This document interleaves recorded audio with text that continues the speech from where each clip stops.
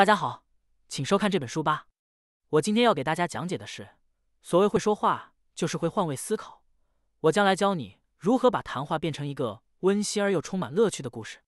许多人一生中都会遇到以下情况：一是上司要与你交谈，谈论工作，不知该谈论些什么，两个人都是一言难尽；二是进入一次聚会，四下张望，却没有一个熟人，你尴尬的在哪儿，不知该说些什么，只好回家去。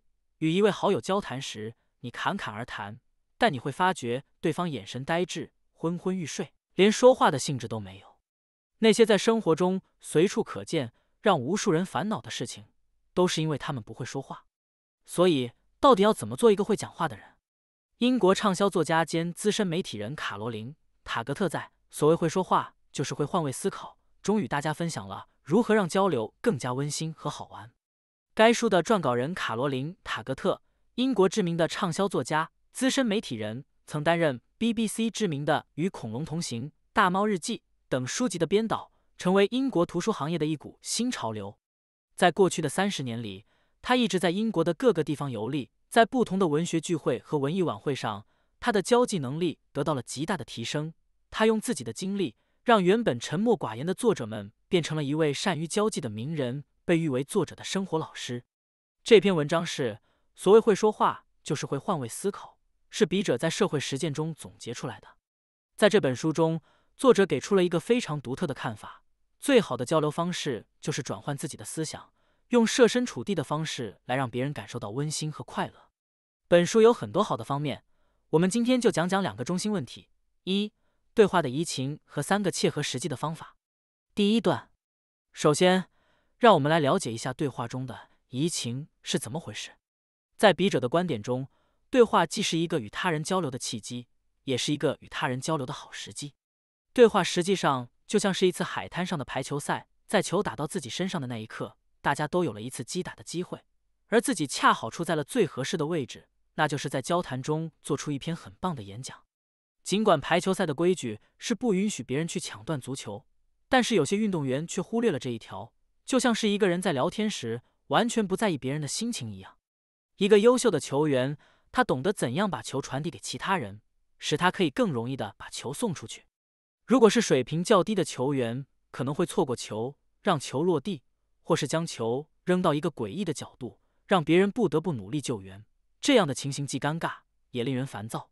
所谓言不由衷，换位思维就好像是在海滩上打排球一样，你要知道对手的站位。你现在的处境，你的出手时间，这三样东西都要结合起来，这样你的传球才能更好的完成整个战斗。笔者的一位同学就是在一次约会中碰到了一个让他很沮丧的人，由于初次见面，彼此并不是很了解，因此出现了一些尴尬。为了打破僵局，那人先和他交流，询问他从哪儿来的，但他却用一个地方的名字作为回应，他就不说话了。他只能继续追问：“你是哪个系的？”其实。寒暄也并非是在说废话，只是为了更好的理解彼此的意思。询问你从哪儿来的，并非真正要打听你的家乡，只是为了让你更好的认识彼此。这样我们就可以更加深入的认识彼此，更容易找到彼此的共同点，这样话题就会更加丰富、更深入。事实上，要在约会中避开这样的寂静，也不是什么困难的事情。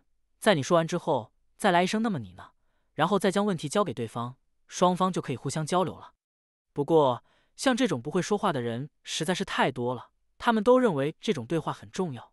但对于作家来说，这种对话不是一种困难，更像是一种机会，因为这是一种有趣的体验，可以让你的人生变得更加充实。因此，没有理由将对话视为你的对手。在最愉快的交谈中，既没有争斗，也没有无聊的言辞，有的只是平静平和的情感交流。要达到这个目的，必须要有一个设身处地的想法。换位思维是什么？实际上就是认真的思考对方的需求，尽力的为对方的利益着想，让对方感到舒服、有趣。好的讲解员是指对他人产生兴趣、乐于理解他人的人，他们能很好的避免自说自话、尴尬，更好的理解彼此的意思，调整自己的措辞。如果有什么不一致的地方，就会换个角度，给其他人一个表现自己的空间。本文的研究者们相信，要使一次交谈能够顺畅的进行。最好的方法就是用各种方法去问别人，比如你怎么看？你是从哪儿来的？你能详细的讲讲吗？用以下的方法给他们一些提示。你愿意倾听他们的下一步要说的话，要让自己设身处地的去思考，他人的反应是非常关键的参考。一个人对事物的看法，反映了他们对这个问题的兴趣和激情，以及他们对你的反应可以引导你继续交谈。例如，在闲谈中，他们谈到了这段时间一直在下雨，有的人会说，雨水对花园里的花草也是有益的。然后，你可以询问他是否喜欢种花。他多半会给出一个是的答案。当有人抱怨总是下雨而感到沮丧的时候，你就会表现出应有的体谅和体谅，尽量去寻找下雨的积极因素，例如下雨之后天气会更冷，而且会更好的空气。这样的文字信息更好理解，但是有些信息却是藏在别人不说的字里行间，所以要仔细考虑。举个例子，有人要向你推荐一种金融工具，它总是围绕着高收益和短时间回收。你也许要询问它的安全和可靠程度。有些暗示可以从别人的话语中得到，比如说，有人爱比喻，有人喜欢引用经典，有人喜欢用数字来形容，有人则是擅长用数字来表达。你可以这样做：你这个比喻很有趣，可以详细讲讲吗？这样做可以让别人以为你是认真的倾听他说话。另一方面，也可以让别人有更多的时间来解释。换位思维中的另外一项重大参考。就是提供和获取资讯。当谈及如何获得职业生涯的胜利时，许多交谈专家都会把弱连接放在首位，强连接是你和家人、朋友以及关系密切的人的关系，而强连接则是你经常能看到、非常了解，并且在你有需求时会给予你支持的那个人。微弱的联系的关键是它可以让你意外和幸运，而你的工作伙伴可以向你介绍一个更好的工作。或者是一个很棒的金融咨询，要构建这样一个薄弱的联系，需要你对他人的观察和设身处地的考虑。很多谈话都是在工作环境中进行的，其中包含了交换和获取的讯息。在这样的情况下，我们要设身处地的思考别人的要求和期待。你要考虑你能为他人做些什么，其中包含你的经验、你在某个领域的专业知识、某个特定的问题的答案，这些都是你能够在你的答案中提到的。另外，思考你想要从别人那儿得到什么，这样才能更好的安排自己的问题。有付出，这样的谈话就会有价值。以上是关于你的第一个要点，在交谈中如何转换观点，设身处地的思考他人的需求，尽力为他人着想，使他人感觉舒适。你要关心他人，时刻留意他人的反应，留意资讯的给予与要求。讲到这里，下面跟大家一起分享三种异地思维的实际方法。外部接触、话题选择、情感交流。第二段，首先，我们来了解一下如何在对话中用外在的方式进行换位思维。外在联系是通过衣着、面部表情和身体的运动来实现思想的转换。在社会上，每个人见面的机会都很少，穿着合适的衣服，这样才能给对方留下好的第一印象。反之，当你在一个陌生人面前表现出消极的态度时，他很有可能会因为你而拒绝与你进行更多的沟通，所以，什么样的外在联系能够让人们产生良好的第一个感觉？这篇文章的撰稿人相信，首先要从你的外貌开始，例如穿着不必总是穿着西装，但要试着使自己的服装符合环境。例如，在去宴会前，你可以先和主人沟通，了解宴会的内容和来访者的地位，然后再通过了解到的情况来决定自己要打扮成怎样的样子。这样才能让对方感觉到你是一个有教养的人。我们可以发现，有些人太注重自己的穿着了，他们会穿着正式的长裙，化妆的很浓妆艳抹，这样的话就会显得你的底气不足。所以，你要做的就是给自己找一件让你觉得自在的衣服，简单的妆容。在你参加派对时，别总想着打扮，别扯着衣领，别把自己的衣角拉起来，那样就太做作了。要有信心，要在晚会上保持笑容。事实上，我们的每一个举动都会对他人与我们沟通的意愿产生一定的影响。例如，当你刻意回避与人目光接触时，你会显得有些心不在焉、胆怯；而当你总是注视着某人时，则会显得咄咄逼人。恰当的目光接触应当是直面彼此的目光，随后将目光投向彼此的嘴唇，随后再次注视彼此的双眼，并不时的给予鼓励的点点头，表明你认真聆听并有浓厚的兴趣。这些动作看起来很难，但只要多练一遍，就会变得很简单。另外，你也要留意身体的运动和脸部的神情。从心理学上讲，人体的运动反映了一个人的思想。例如，一个人站着的时候，双手插入裤兜，不但显得你很慵懒，而且给人一种你很厌烦的感觉。和别人交谈时，你的身子后仰，表示你很不舒服，你对你的对话没有兴趣。如果你侧过身子，表示你很感兴趣。而双手交叉的站在那儿，则表示你比较谨慎，有强烈的防御意识。这些看似微不足道的身体运动，实际上会泄露你的情感，继而会对你的初次形象产生一定的冲击。另外，和其他人的关系也会对对方的看法产生一定的影响。通常情况下，一米的间距是一个很好的范围，这样才能保证两人之间的身体接触，而不会让对方觉得不自在。以他人为本的外在联系是达到移情的首要步骤。让我们回到另一个角度来看另一个方法：主题选取。不将交谈视为一件麻烦的事情，仅仅是开始，而更高层次的事情，则是借此来增加认识。加深关系乃至感动，要达到这个目的，就必须要挑选适当的主题，使你的对话更加生动活泼。交谈时，双方都要表达自己的观点，而当对方喋喋不休时，对方却只是说是或者是，这样对话就会变得很难继续。因此，在交谈的过程中，尤其是一开头，尽量选择能使另一方继续交谈的主题及开放的主题。开放的主题实际上是与封闭主题相关的。它是怎样的一个封闭主题？例如，你到日本来了吗？对于这样的问题，你只能说是或者不是。这个无法进一步交流的问题，就是一个封闭的问题。这样的问题不但会让人觉得和你沟通很枯燥，还会给人一种被拷打的错觉，让你好不容易在别人面前树立的好感荡然无存。但开放性的问题就不一样了，它可以让你敞开心扉。让你敞开心扉，开始一个开放性的话题。你必须要从你的问题中找出合适的答案。举个例子，如果你用一句“今天是个好天气”，对吧？这样的话，你会被人用是或否的口吻来表达。但是，你要是换一种说法，说“今天的气候很好，我很期待接下来的日子里，我们的国家队也会有这样的好天气”，然后你可以和另一个人进行一次有意思的对话。开放性的主题是一种很好的交流方式，其内容的选取十分关键。你可以先从周围的事物入手，例如在派对的东道主家里，谈论一下他们的收藏品和记录；也可以在介绍自己的过程中，告诉对方一些更明确的情况，例如在介绍自己和老师的关系，或是目前的工作，以便能找出话题。你可以找到一种让双方都不快乐的东西，来分享自己的不快乐。要使交谈更加温馨和有趣，你必须是一个很有意思的人。你必须首先把自己变成一个有趣的人，这样你的对话就会引起其他人的注意。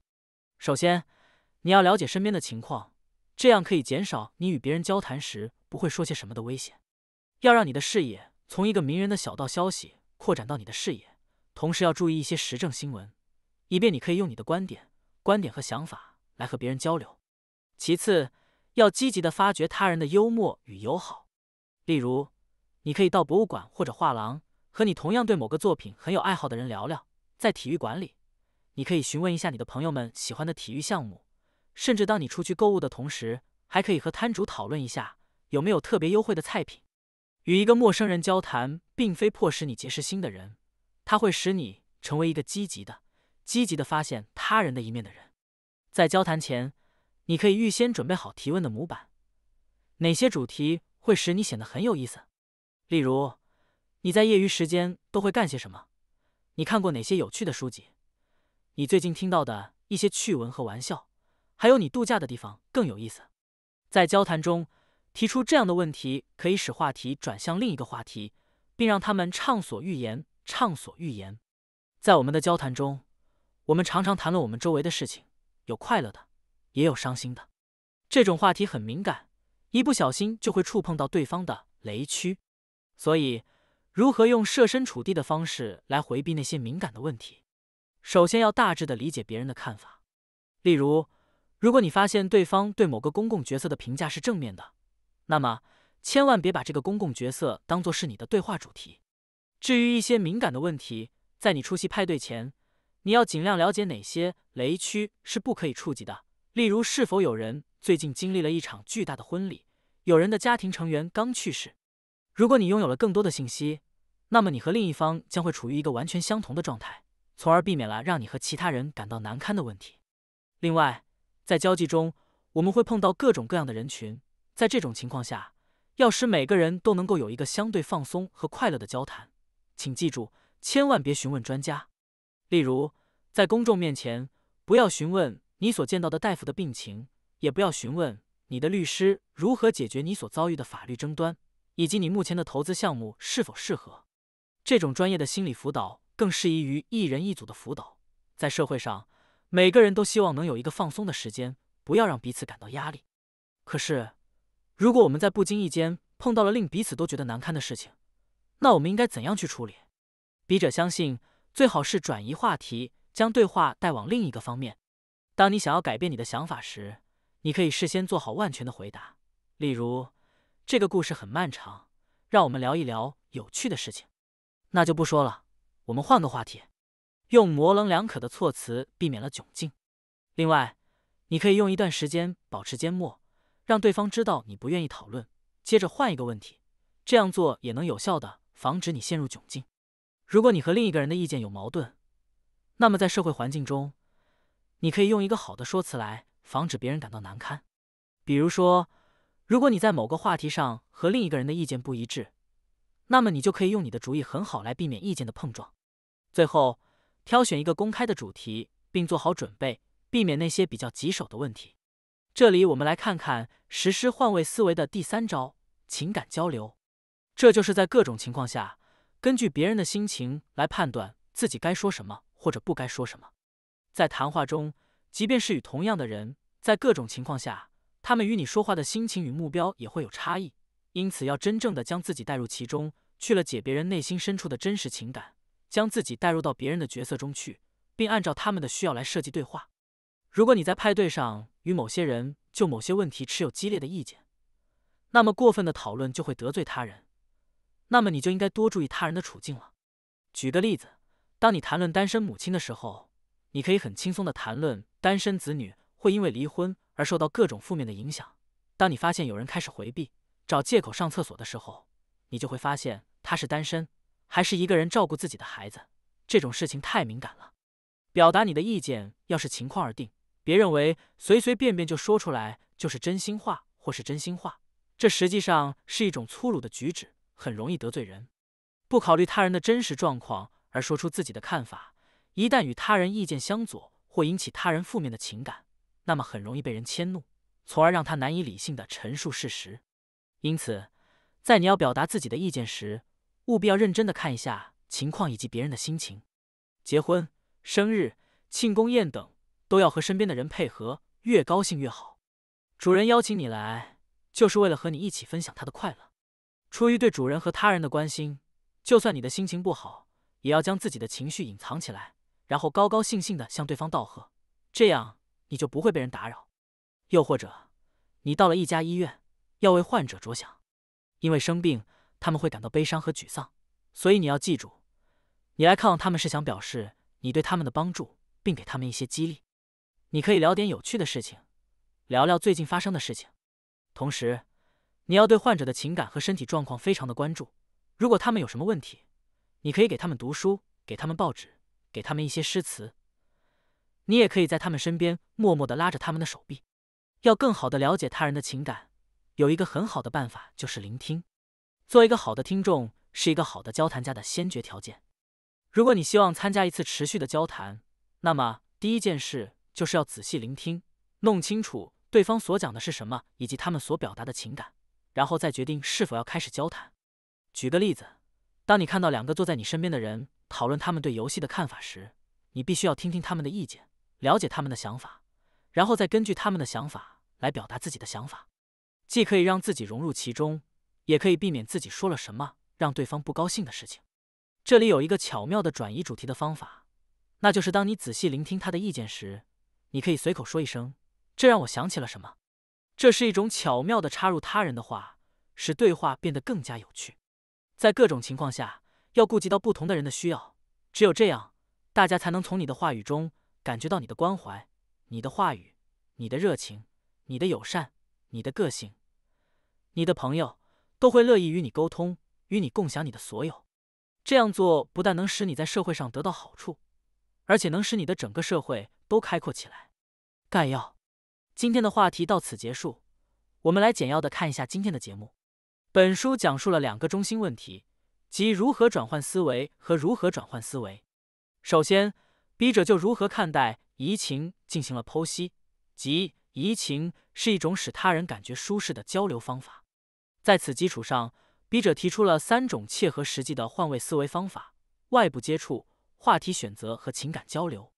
所谓外在交流，就是要用衣着、表情。身体的行为来进行思想交流，在社会交往中，人们的交流机会要少，穿着合适的衣服和相貌会让人觉得很自在，从而产生交流的冲动。在交谈的时候，要尽量让人敞开心扉，这样才能让谈话变得更加有趣。要多了解他人，多了解他人的优点，做好问题，做好心理准备，避免雷区。